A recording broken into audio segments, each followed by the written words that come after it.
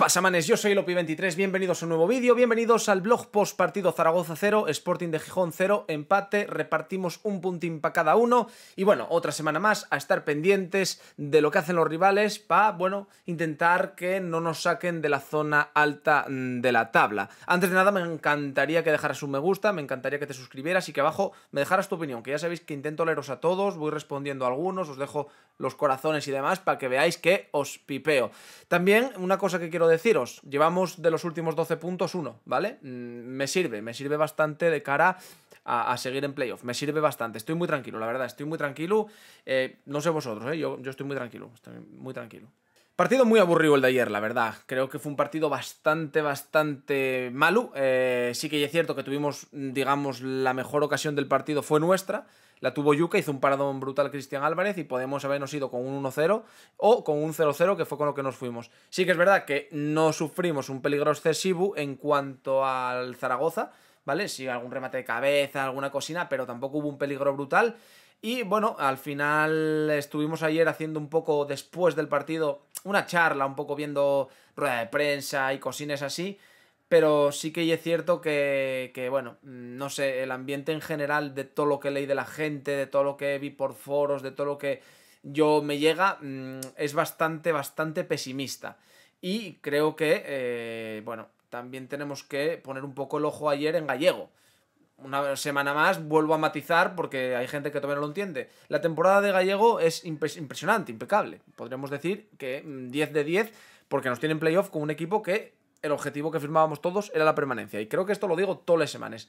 Pero ayer, una vez más, sí que es cierto que toca cosines en la alineación que me gustaron, como por ejemplo meter a Borja López de central, que creo que se vio que lle mucho mejor que Mar Valiente, pero muchísimo, tanto en defensa como en salida del balón, creo yo, eh, bajo mi punto de vista, vuelve a pecar en poner a Saúl, que vuelve a hacer un partido muy mediocre, de hecho una de las ocasiones más claras de ellos, bien por una pérdida de balón de Saúl, que bueno, en fin, cosas. Y luego, pues eh, también metió a Grajera, que sí que es verdad que jugó bien, pero también tuvo sus movides. Volvió a hacer hincapié en Aitor, que ni tan ni se espera. Manu sí que es verdad que jugó en la media punta, pero el Zaragoza cerró muy bien esa zona, tapó muy bien a Manu. Y bueno, pues luego pues con Nacho Méndez y, tal. ¿Qué pasa con Gallego? Pues que ayer mm, dos cambios, haz, dos cambios. Eh, y luego en rueda de prensa él mismo eh, se tira piedras en su propio tejado, me explico. Pregunten y que qué pasa, que por qué al final el Zaragoza parecía que estaba empujando más y es que dice él, no, es que ellos hicieron cambios, refrescaron el equipo. A ver, hermano, ¿qué? ¿Que solo puedo hacer cambios el Zaragoza o cómo va esto? Tienes cinco cambios, tío.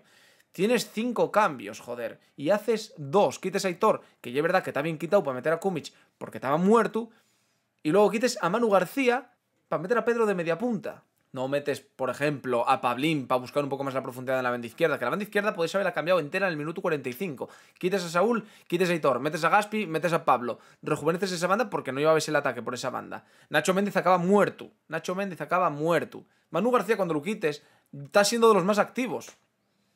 Bueno, eh, yo para mí ayer el mejor del equipo fue Yuka, ¿eh?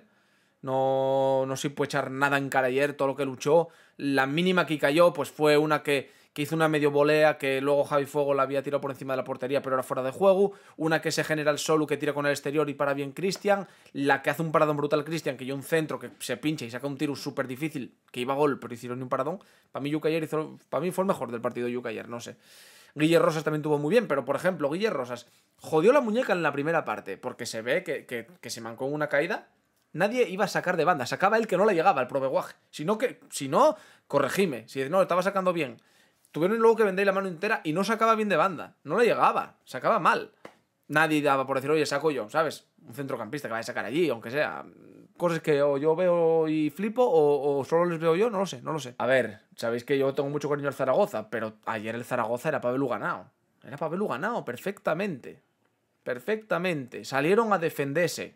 El Zaragoza salió a no perder. Y tú saliste a no perder. Pero bueno, no perdiste. El objetivo tuvo ahí. Un punto, vale.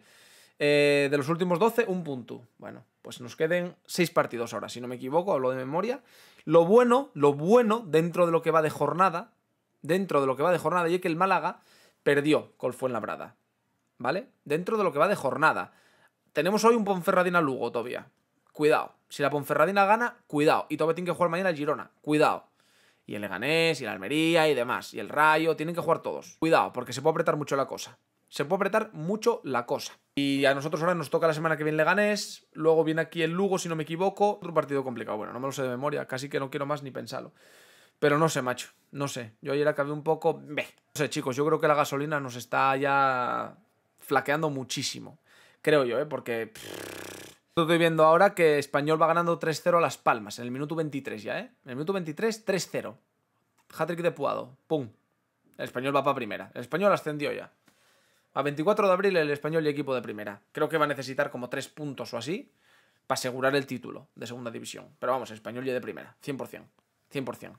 Y os soy sincero, ¿eh? Hago el postpartido porque me lo pide mucha peña y me dice, oye, danos la tu opinión y tal, que me gusta escucharte. Pero... no, lo, no lo haría, ¿eh? Es, que el partido de ayer, los que estuvisteis en el directo, ya lo visteis. Enfadaos. Solo, solo enfadanos, tío.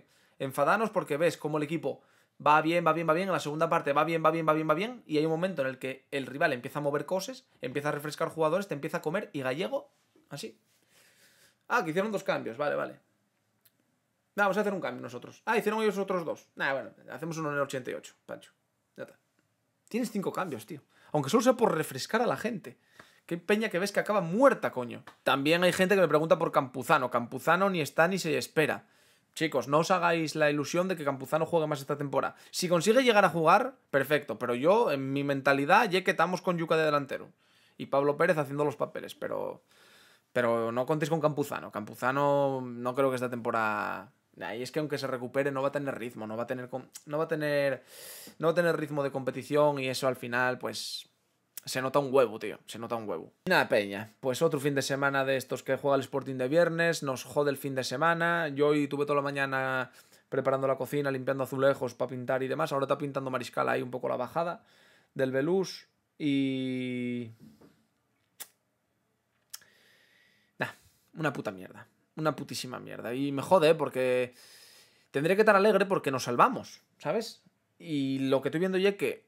Sí, Vale, objetivo cumplido, pero estamos dejando escapar que luego puedes subir o no puedes subir, puedes pechear en la primera ronda, pero estamos, estamos dejando partido a partido, como yo gusta decir a Gallego, partido a partido estamos dejando escapar el playoff, tío. Y ojalá me equivoque, pero lo veo muy jodido, tío, ahora mismo. Por los partidos que nos queden a nosotros y por cómo lleguen los otros equipos. Peña, ya me contaréis qué opináis vosotros abajo en la caja de comentarios, ¿vale? Eh, yo os dejo por aquí, es que tampoco tengo mucho más que contaros. El partido fue un tostón. Fue un tostón de la hostia. Fue un tostón de puta madre. Pero bueno, nos vemos en próximos vídeos y sobre todo nos vemos en Twitch. Que ya os digo que tenemos ahora ahí un plan bastante pepino de roleplay en GTA. Tenemos también el MotoGP 21. Hay bastante movimiento por, por Twitch. O sea que si pasáis por allí seguramente esté en directo. Bueno, estoy todos los días en directo. Más o menos por la tarde-noche, pero todos los días me tenéis por allí, por si os queréis pasar, ¿vale? Así que nada. Y si tenéis el Twitch Prime podéis entrar en sorteos. O sea que si os suscribís. Venga, que nos vemos. Un abrazo, números uno. Chao.